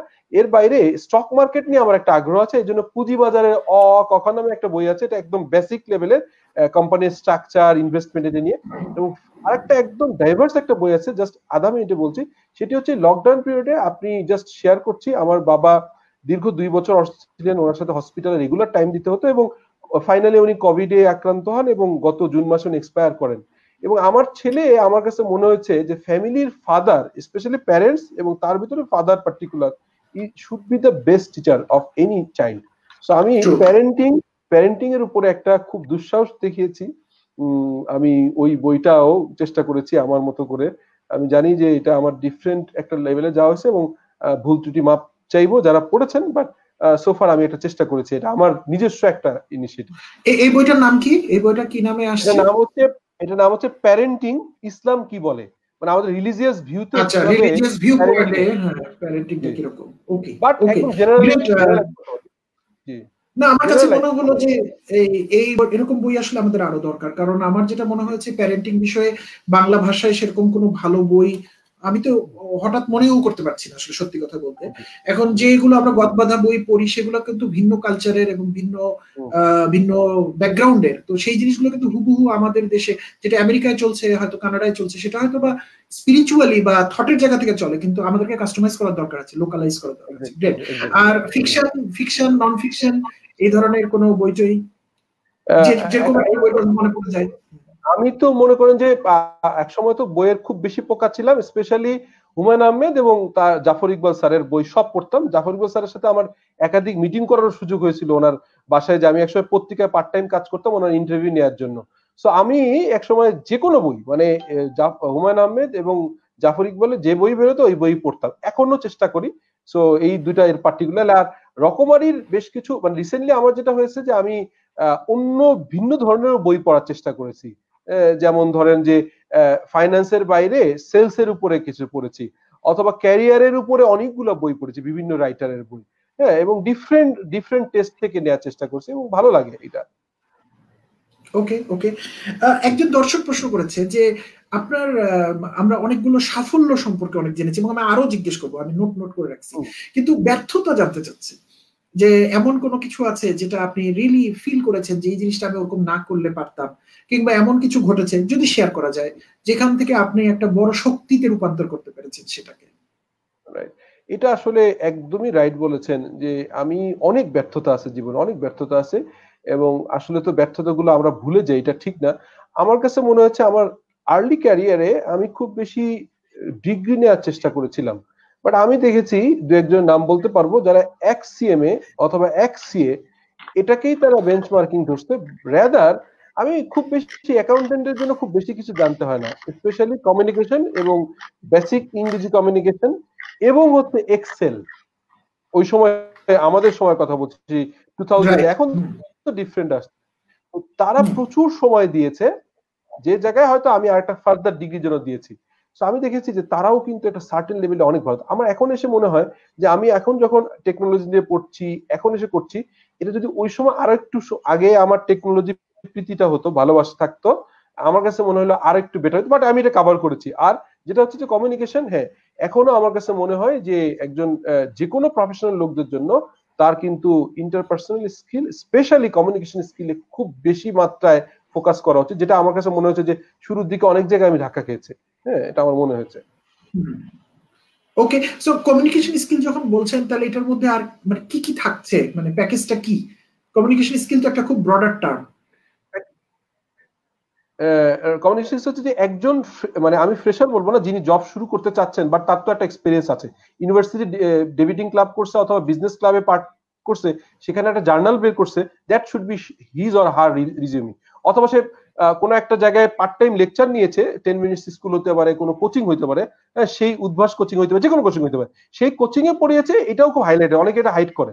আমার মনে হয় মানে যারা নতুন জব করে সো তা আমার কাছে মনে হয় প্রথমে হচ্ছে নিজেকে ডিসক্রাইব করার জন্য। আপনি দেখেন এই যে সোশ্যাল মিডিয়াতে নীলপরি অথবা স্বপ্ন বালক ভরা আমার মনে হয় নিজেকে আগে প্রথম হচ্ছে কমিউনিকেশনের সবচেয়ে need to express yourself আপনার লিঙ্কডিন অ্যাকাউন্টটা প্রফেশনাল হতে হবে ফেসবুকটাও অনেকে মনে করেন যে ফ্যামিলির বাপ মা আসলে আমি বাবা মার কথা বলছি না, এটা কিন্তু অনেকে দেখে। তো এটা ঠিক করা, তারপরে আপনি সুন্দর একটা রিজিউমি তৈরি করা, একটা কাভার লেটার তৈরি করা, এবং আপনি ওই যে আমরা প্রায় বলি এলিভেটর পিচ বলি। আপনি ওই যে বললাম না, আমি তিরিশ সেকেন্ডে অনেক সময় অনেকে বিরক্ত হয়ে যাই। যখন প্রথম কোশ্চেন সবাই জানে যে ninety nine point nine nine percent টাইমে ঢুকলেই বলবে যে আপনি আপনার সম্পর্কে এটা জিজ্ঞেস করে না ডিসক্রাইব ইউরসেলফ কোন ইন্টারভিউতে বলে না, আমি তো পাইনি। সো তারপরেও এটা বলতে যে, যা করে, কেউ বলে আই এম মিস্টার লেটসে শফিকুল আলম। কেউ হয়তো বলছে যে, তার বাবা মা ফ্যামিলিতেই হয়তো বিশ মিনিট বিশ সেকেন্ড সরি দুই, পাঁচ, দশ মিনিট কাটিয়ে ফেলেছে। সো এই এলিভেটর পিচ যেটা বলি, আমি তিরিশ মিনিটে নিজেকে একটা চরম ভাবে যে শর্ট অ্যানালাইসিস করে নিয়ে করা, এটা কিন্তু প্র্যাকটিসে সম্ভব। এটা একটা কমিউনিকেশন সেকেন্ড কমিউনিকেশন হচ্ছে, আমরা যখন জয়েন করি জয়েন করার পরে আমার ডিপার্টমেন্টের সাথে কমিউনিকেশন ইন্টার ডিপার্টমেন্টের যোগাযোগ, এই জায়গাগুলো আমরা যে মেইল যেভাবে লিখি রাবার স্ট্যাম্প ইউজ করি, আমরা প্রচুর ধরনের কমন কথা বলি। আমি আমার কলিগদেরকে যেটা শেখানোর চেষ্টা করছি, এক লাইনে সেটা বলি, সেটা হচ্ছে, আমার এক কলিগ খুব ইন্টারেস্টিং কাজ করতো। সে বলতো it is my pleasure it is my pleasure to inform you that বলে ধরেন তাকে সে একটা এইচআর অ্যাডমিন একটা গাড়ি চাচ্ছে সে একটা যাবে। সো তার মেইলটা শুরু হয় it is my pleasure to inform you that I will go to visit our factory so I need a car আমি একদিন ডাকলাম সিনিয়র সে মোটামুটি সিনিয়র ম্যানেজার আমি বললাম যে এটার মানে কি? তো আমি তাকে শিখালাম this is call rubber stamp by clear communication be very brief specific এবং আপনি যেটা চাচ্ছেন এখানে খুব বেশি হন। দ্যাট ইজ কল মনে হবে যে আপনি একটা মেইল লিখছেন, সামনে দাঁড়ায় কথা বলছি। ইভেন আমি আপনার সাথে ফোনে কথা বলব, আপনি আমার চেহারা দেখবেন না। মনে হবে আপনার সামনে দাঁড়িয়ে কথা বলছি। এইরকম একটা জায়গাতে আমার কমিউনিকেশন বলতে এটা আমি বুঝি যে to to present yourself in a very better and very brief আপনার সময় তো এখন মানুষ কিন্তু সময় আপনাকে দিবে না। সো আপনি যেটা দুই মিনিটে বলার কথা, সেটাকে এক মিনিটে বলার প্র্যাকটিস করতে হবে এবং ইফেক্টিভলি বলতে হবে। রাইট এন্ড এটা একটা প্র্যাকটিসের ব্যাপার রাইট শফিক ভাই এটা তো আর কেউ হুট করে পারবে না। So we need to practise it over time right right right right exactly আপনার আপনার কথা থেকে একটা জিনিস আসছিল ভাই আমি ওই জায়গাটা একটু হাইলাইট করতে একটা তো আপনি ওভারঅল আইটির কথাটা আমরা মোটা থেকে বলে দিয়েছি যে এখন সবগুলো অর্গানাইজেশন আস্তে আস্তে আইটি বেস হয়ে যাচ্ছে। কাজে আমরা যাই করি না কেন সেটা আমার জন্য আইটি দিয়ে আমি কভার করতে পারি এবং আমার নলেজটা থাকে। কিন্তু আমরা যখন এই যে চতুর্থ শিল্প বিপ্লবের কথা বলি এগুলো যখন এই শব্দগুলো ব্যবহার করি না জার্গনের মতো হয়ে যায় ভারী হয়ে যায়। একদম সহজ করে বলে আপনি আপনি ব্লক চেইনের কথা বলেছেন যেটা কিনা ফাইন্যান্সের মধ্যে চলে আসতেছে। অলরেডি অনেকগুলো কোম্পানি প্র্যাকটিস করতে শুরু করেছে। তারপরে আমরা অনেক কিছুর মধ্যে এখন অ্যানালাইটিক্স এবং বিগ ডেটা দেখতে পাচ্ছি। অর্থাৎ আগে যেভাবে অ্যানালাইসিস হতো এখন অন্যভাবে। আমি প্রায় একটা উদাহরণ বলি যে গুগল জানে যে আমি কালকে কি করব। অর্থাৎ আমার আমার সে হ্যাবিটকে সে অলরেডি ট্রেন্ডে ফেলে দিয়েছে। সো অ্যানালাইটিক্স জানতে হচ্ছে। আমরা অনেক আইওটি ব্যবহার করছি অনেক হ্যাঁ? অনেক রোবোটিক্স ব্যবহার হচ্ছে। এই যে এক্সটেন্ডেড নলেজগুলো চলে আসতেছে এইটাও তো এই পার্টিকুলার ফাইন্যান্স এবং অ্যাকাউন্টিং যে প্রফেশন সেখানেও তো ডিরেক্টলি ইনডিরেক্টলি প্রভাব বিস্তার করে ফেলতেছে। কাজে এক লাইনে করলে তো এটা এটা শিখতে হবে এখন আমাদের ছেলে মেয়েদেরকে কিছু করার নাই। ভালো করতে হলে শিখতে হবে probably দুই বছর পর আপনি ইন্টারভিউতে জিজ্ঞেস করতে শুরু করে দেবেন যে ব্লক চেইন সম্পর্কে কি জানো? বলো। হয়তো এখনই জিজ্ঞেস জি। সো ছেলেমেয়েরা আমাদের তো এডুকেশন ইউনিভার্সিটির কারিকুলামে এগুলো কিন্তু এখন পর্যন্ত নাই। নাই। অ্যাজ অফ ডেট আজকের ডেটে নাই। অ্যাটলিস্ট ফাইন্যান্স অ্যাকাউন্টিং এ পড়ে না। তাহলে ওদেরকে আপনি কি পরামর্শ দিবেন? প্রথমে তো শেখার ব্যাপারে এবং ওরা কোথায় থেকে এগুলা শিখবে?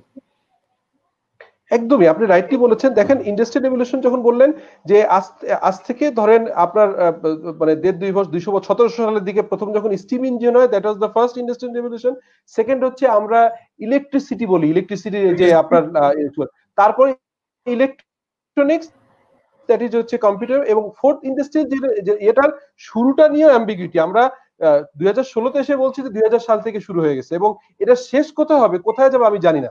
বাট অলরেডি বাংলাদেশে স্ট্যান্ডার্ড চার্টার ব্যাংক ব্লক চেইনে এলসি ওপেন করে হয়েছে। রাইট সো আপনি এখন যদি আপনি ফাইন্যান্সে কাজ করেন আর আপনি যদি ব্লক চেইন না জানেন তাহলে তো এটা একটা চ্যালেঞ্জিং আপনি ডেটা সিকিউরিটি কেমন আছে? আপনি যে আপনার যে অ্যাকাউন্ট সব অটোমেশন চলে আসছে। You must have to know the blockchain you have to must to know the other because আপনি এখন কিন্তু আর মানে অ্যাপ্রুভাল ফিজিক্যালি হচ্ছে না। চেক ইস্যু করতে হচ্ছে না। পেমেন্ট প্রসেস অটোমেশন হয়ে গেছে। আপনি যখন ওয়ান্স ইউর একটা কম্পারেটিভ স্টেটমেন্ট করে যখন আপনি পিআর দিয়ে দেন তখন পিও অটোমেটিক হয় পিও হয়ে গেলে কিন্তু ব্যাংকে আপনার স্ট্যান্ডিং অর্ডার দেওয়া থাকে যে আমার সাপ্লায়ার সে তার অনলাইন সিস্টেম আছে সে এটা লোকাল কোম্পানিগুলো অলরেডি চেক কিন্তু অটোমেটিক ব্যাংক ট্রান্সফার আপনি দেখেন কি পরিমাণ ব্যাংক ট্রান্সফার হচ্ছে।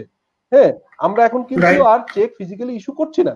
এই সময়তে আপনি কীভাবে এগুলো না জেনে আপনার অর্গানাইজেশনের সেফ সিকিউর করবেন আই এম নট শিওর যে you have to you must have to এখানে যদি বইতে আসে নাই but knowledge is not restricted knowledge is open শুধু একটু গুগল করেন, একটু ইউটিউবে দেখেন, হাজার হাজার কন্টেন্ট আছে। If you really want to know আপনার কোন টিচার এখন লাগে না, এটা কিন্তু অনলাইনে প্রচুর কোর্স আছে ইউ ক্যান এনরোল আমার মনে হয় যে, বইতে থাকতে হবে কোর্সে থাকবে, এটা কিন্তু কোনো পিছিয়ে যাবেন আপনাকে মনে রাখতে হবে যে, আপনার কোনটা নিড আছে, সেটা আপনি শিখবেন। তার জন্য certificate.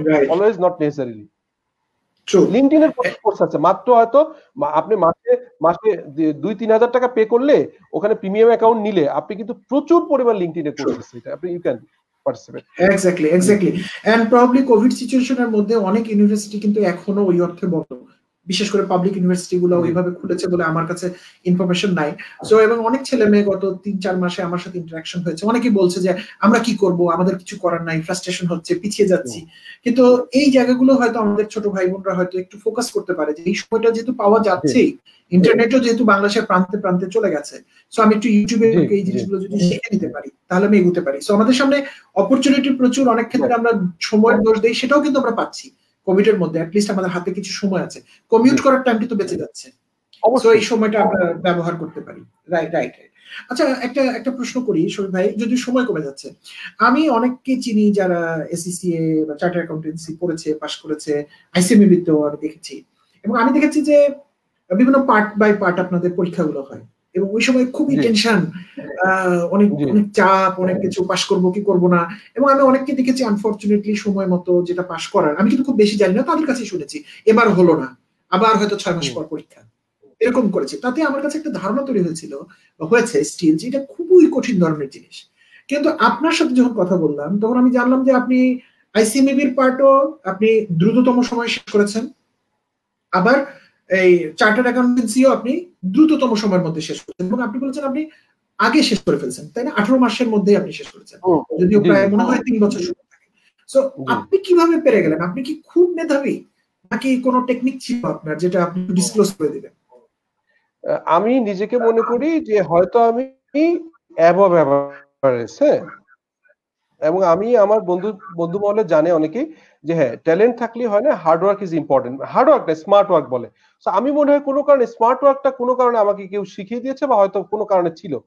এখন দেখেন যে এই আমার আইনস্টাইনে একটা কথা খুব পছন্দ হয়। এটা আমি আইবিএ তে একজন কমিউনিকেশন টিচারের কাছ থেকে আমি জিনিসটা শিখেছিলাম, এটা আমি প্রায়শই বলি। সেটা হচ্ছে ইনস্যানিটি বলা হয় doing the same thing over and over again and expecting different result আমাদের প্রফেশনাল এডুকেশন স্পেশালি যেহেতু এখানে পাস মার্ক ডিসক্লোজ হয় না এবং এখানে স্ট্যান্ডার্ড একটু হাই ধরেন সিক্সটি পার্সেন্টও পাস হতে পারে। আমি most of the professional education যারা নিতে চান স্পেশালি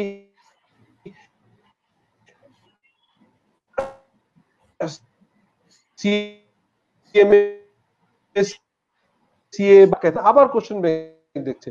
আমি মনে করি যে একটা এফোর্ট একবারে দেওয়া উচিত। বারবার পরিশ্রম না করে if you go through the textbook in a very good way একদম এ টু জেড এবং এই জিনিসটা করে এবং আপনাকে এক্সাম প্রিপারেশন নিতে হবে। আমি একটা টিপস বলি থ্রি স্টেপ টিপস সেটা হচ্ছে আপনার কবে পরীক্ষা হবে আপনি জানেন এখন কবিডি কিন্তু অনেক পরীক্ষা পিছিয়ে গেছে। সো আপনি একটা ফ্রেশ কোশ্চেন নেন। আপনি নিজের টাইম কিপার হন। নিজে নিজেকে কন্ট্রোল করেন। এই এইটা রাখতে হবে কিন্তু যে তিন ঘণ্টা আমি সময় বেশি নেব না। কোশ্চেন দেখব না। আপনি একদম আননোন কোশ্চেন নিয়ে তিন ঘণ্টা পরীক্ষা তিন ঘণ্টা দেন চুপচাপ খাতা বন্ধ করে রেখে দেন। পরের দিন আপনি স্ট্যান্ডার্ড মডেল সলিউশন আছে বই ওপেন করে নিজে নিজের জাজ করেন। দেখবেন কত পার্সেন্ট মার্ক দিয়েছেন। তারপরে যদি এটা আপনি সলিউশন কেন ফেল করলেন কেন খারাপ করছেন এটা রুট কজ অ্যানালাইজ করেন তারপরে আপনি ডিগ ডাউন করেন জাস্ট ফ্ল্যাশব্যাক করেন উল্টো দিকে আগে পরীক্ষা দিয়ে নিজের দুর্বলতা বের করলেন।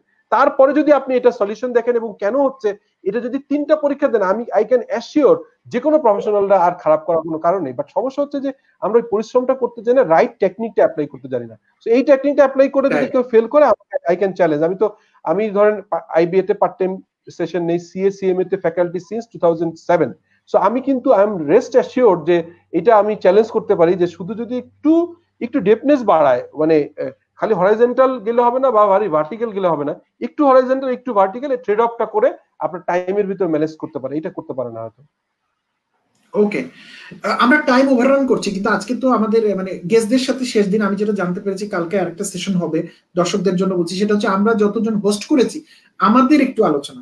তো আজকে যেহেতু গেস্টের সাথে আমার শেষ দিন আমি একটু বাড়তি সময় নিয়ে নিচ্ছি। আমি জানি ব্যাক স্টেজে যে আছে হয়তো একটু বিরক্ত হচ্ছে আমি সুযোগটা নিতে চাই। শকুল ভাই আপনি বিভিন্ন ক্যাপাসিটিতে কাজ করেছেন। আমি যদি একদম মোটা দেখে বলি, তাহলে আপনি এমপ্লয়ি হিসেবে কাজ করেছেন সিনিয়র লেভেল এমপ্লয়ি কিন্তু। এমপ্লয়ি হিসেবে কাজ করেছেন। আপনার এখন একটা নিজের প্রতিষ্ঠান আছে সো আপনি সেই কোম্পানির সিইও বা মালিক। আবার আপনার। জয়েন্ট ভেঞ্চারের মতো একটা প্রতিষ্ঠান আছে।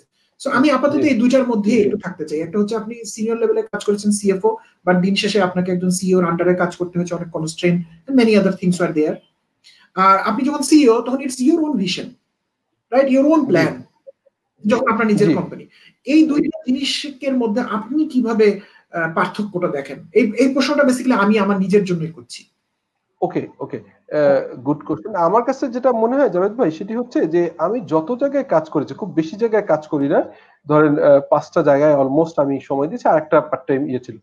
আমার কাছে মনে হয়েছে যে আমি সব সময় যেটা দেখার চেষ্টা করলাম জব করার সময় যেটা মনে হয়েছে যে হ্যাঁ, কিছু ফ্রিডম আপনার থাকবে না। আপনার সব সব আপনি কিন্তু ডিজার্টেড হলে চলবে না যে আপনার সব প্ল্যান সব পরিকল্পনা আপনার মতো কেন সিও চিন্তা করছে না। সিও চেয়ারে. বসে কিন্তু হি রাইট সো আপনাকে মাথায় রাখতে হবে যে ইউ অ্যাটিটিউড থাকতে হবে। সিও আপনার সব কথা শুনলে এইচআর সিএইচআরও সিএমও ওনাদের কথা তো শুনতে হয়। আপনি কেন মনে করছেন যে আপনি রাইট মানে অন্যরা রং এটা তো ঠিক না।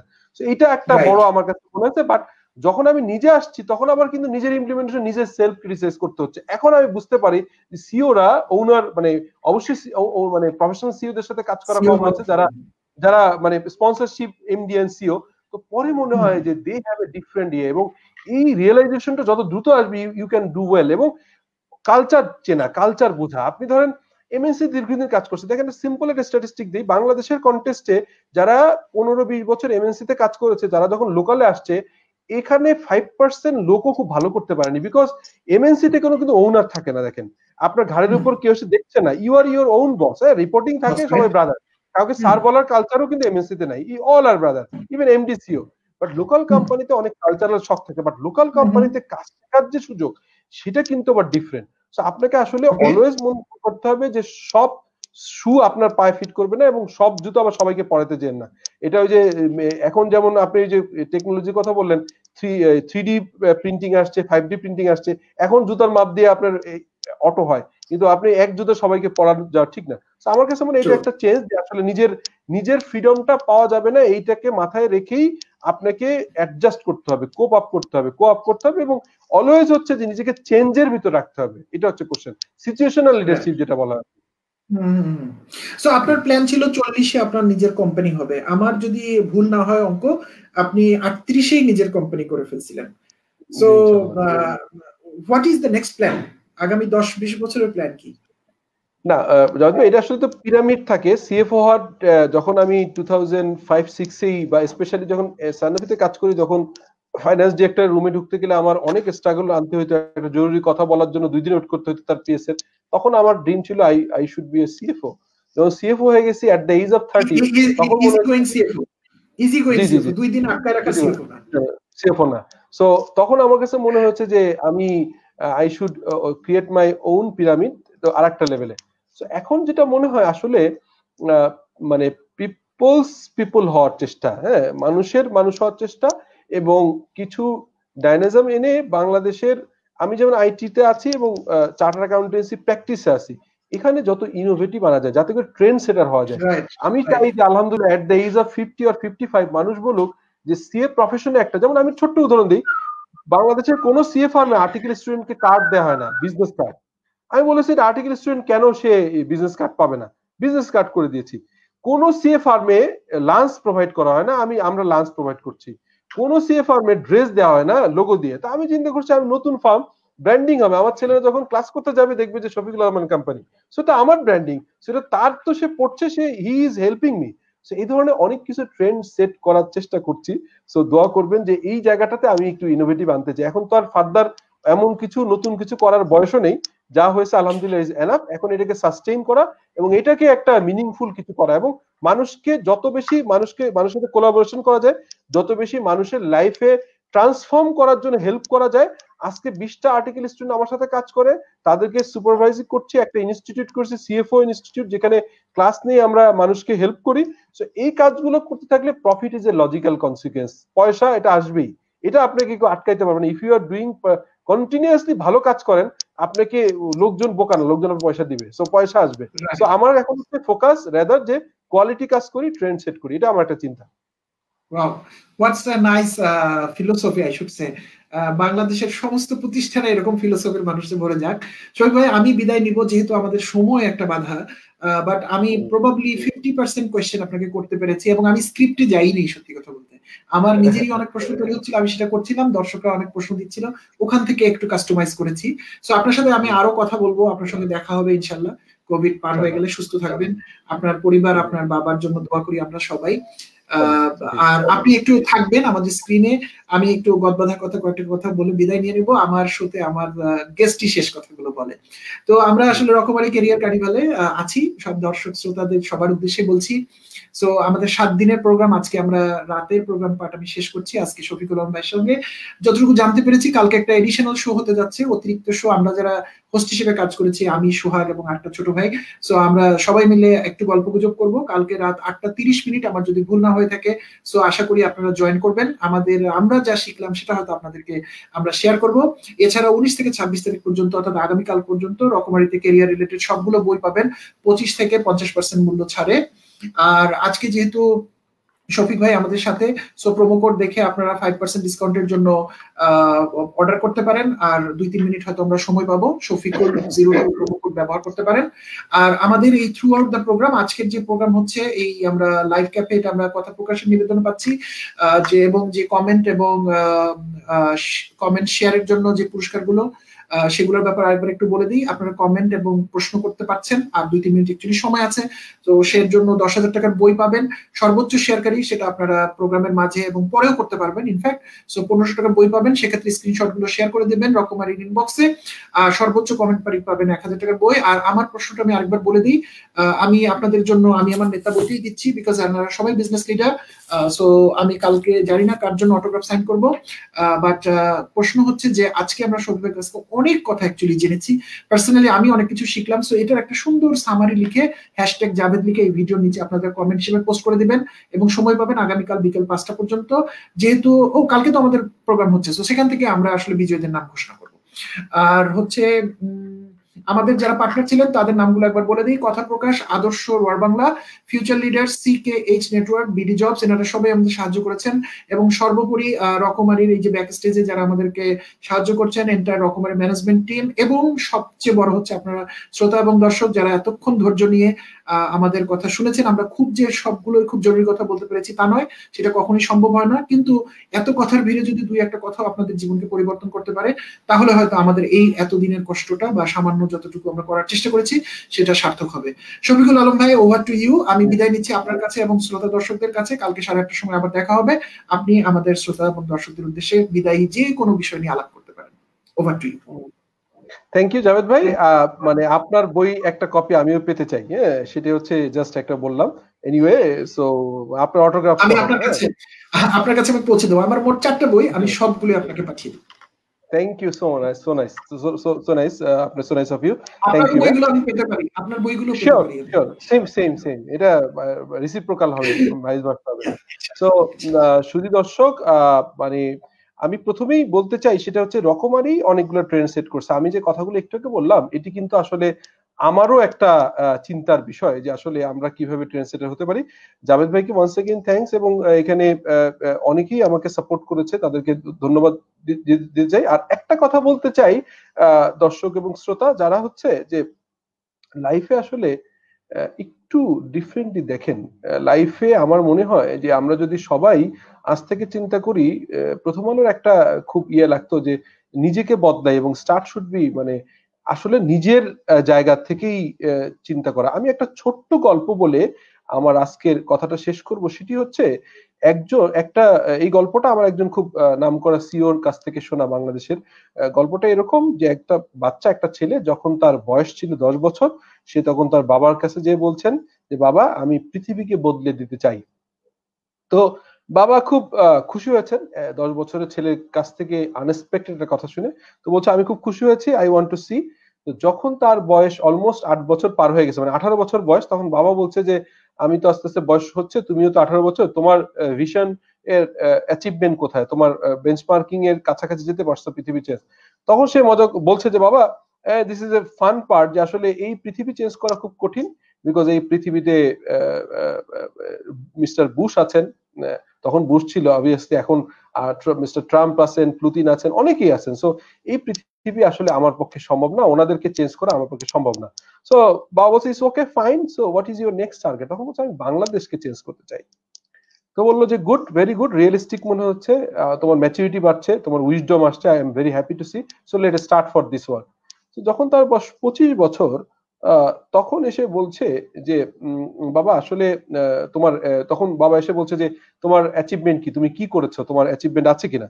তখন বলছে বাবা আসলে পৃথিবী চেঞ্জ করাটা যেটা কঠিন ছিল মনে করছিলাম আমার কাছে মনে হচ্ছে বাংলাদেশ চেঞ্জ করা আরও বেশি কঠিন কারণ বাংলাদেশেও ওই একই রকম সিনারিও অনেকেই আছেন যাদেরকে চেঞ্জ করা আমাদের পক্ষে অসম্ভব হ্যাঁ স্পেশালি পলিটিক্যাল লিডারদের কথাই সে বলছে। তো তখন পলিটিক্যাল সিস্টেমের কথা বলছে বলছে ইস গুড কিন্তু কষ্ট হচ্ছে তুমি তো বলেছিলে তুমি চেঞ্জ করতে চাও। তখন বলছে আসলে একটা কাজ করি যে আহ, আসলে তো আমি যদি আমার ফ্যামিলিকে চেঞ্জ করতে পারি ফ্যামিলি চেঞ্জ হলে অনেক ফ্যামিলি দেখে চেঞ্জ হবে অনেক ফ্যামিলি চেঞ্জ হলে দেশ চেঞ্জ হবে বাংলাদেশ বাংলাদেশ চেঞ্জ হলে এটাকে রোল মডেল হিসেবে পৃথিবী চেঞ্জ করা যায়। So we should start our family so যখন তার বয়স অ্যারাউন্ড থার্টি ফাইভ প্লাস তখন তার বাবা অনেকটা বয়স্ক হয়ে গেছে তার বয়স যখন অ্যারাউন্ড ফর্টি তখন বাবা এসে বলছে যে তুমি তোমার পরিবার চেঞ্জের ব্যাপারে কি উদ্যোগ নিয়েছো? কি হয়েছে? এটা কি রেজাল্টটা কি? তখন সে বলছে, বাবা, খুবই কষ্টকর যে পৃথিবী চেঞ্জ করা অথবা বাংলাদেশ চেঞ্জ করা, এখানে বিভিন্ন পলিটিক্যাল লিডার আছে, তাদের জন্য যেমনি অসম্ভব। কিন্তু আমার বাসা চেঞ্জ করা আরও কঠিন বিকজ আমি আমার ছেলেকে যখন বলছি, তুমি মোবাইল স্ক্রিন টাইম কমাও মানে এবং তুমি ডিজিটাল টাইম কমাও, তুমি গেমস কম খেলো ফেসবুকিং কম করো আপনার বৌমাকে বলছি যে ইন্ডিয়ান টিভি সিরিয়াল কম দেখো। এটা কেউই শুনছে না। তখন বাবা বলছে যে, কেন শুনছে না? এটা কারণটা কি? তখন সে বলছে, আসলে আমি একটা রিয়েলাইজেশন করেছি যে আসলে আমার নিজের ভিতর সমস্যা আছে। আসলে আমার ফ্যামিলি বাংলাদেশ অথবা পৃথিবী চেঞ্জ করার আগে আসলে I have to change myself first আমি যদি নিজেকে চেঞ্জ করতে পারি, তাহলে আমার কথা সবাই শুনবে। সো তখন বাবা বলল যে, আমি মৃত্যু সজ্জায় আমি ডেথ বেদে তোমার এই কথা শুনে আমি খুবই ভালো লাগল। তুমি এই দীর্ঘ প্রায় থার্টি ইয়ার্স ধরে এই কাজটা করেছ বাট তুমি রিয়েল উইজডম তোমার আসছে। লেট চেঞ্জ ইয়োর সেলফ এবং তাহলেই তুমি পৃথিবী চেঞ্জ করতে পারব। শুধু দর্শক এবং শ্রোতা কথাটা একটু শক্ত মনে হলো আমার কাছে মনে হয় যে আমরা প্রত্যেকে আসুন নিজে একটু চেঞ্জ করার চেষ্টা করি, একই জিনিস বারবার না করে ডিফারেন্ট কিছু ট্রাই করি এবং সেটি পজিটিভ নট নেগেটিভ সো এটা করতে পারলে আমার মনে হয় আপনি সারা পৃথিবীতে ভূমিকা রাখতে পারবেন। সো আমি, আমার মনে হয় যে আজকের সেশন এখানেই শেষ করতে চাচ্ছি। সবাইকে আমাকে শোনার জন্য আমাকে এই যে দীর্ঘ সময় সময় দিলেন এবং আমি অনেক ইলেভেন কথাও বলে ফেলেছি হয়তো, সবার কাছে ক্ষমা সুন্দর দৃষ্টি দেখবেন আশা করি এবং আমি যে কোনো কাজে আপনার যদি কখনো হেল্প করতে পারি I am ready to serve you so আমাকে সোশ্যাল মিডিয়াতে কানেক্ট করতে পারবেন, শফিকুল আলম, আমার ইউটিউব চ্যানেল আছে, আমাকে ফেসবুকে নক করতে পারবেন এবং আমার মনে হয় যে it will be meaningful relation thank you take care goodbye আসসালামু আলাইকুম।